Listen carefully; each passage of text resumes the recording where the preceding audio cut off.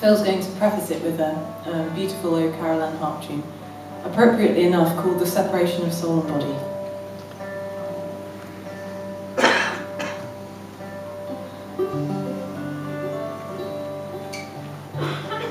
He's just um, going to build a sort of atmosphere of almost unbearable suspense first to get you going.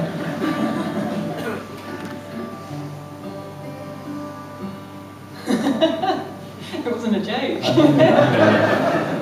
if in doubt, blame the banjo.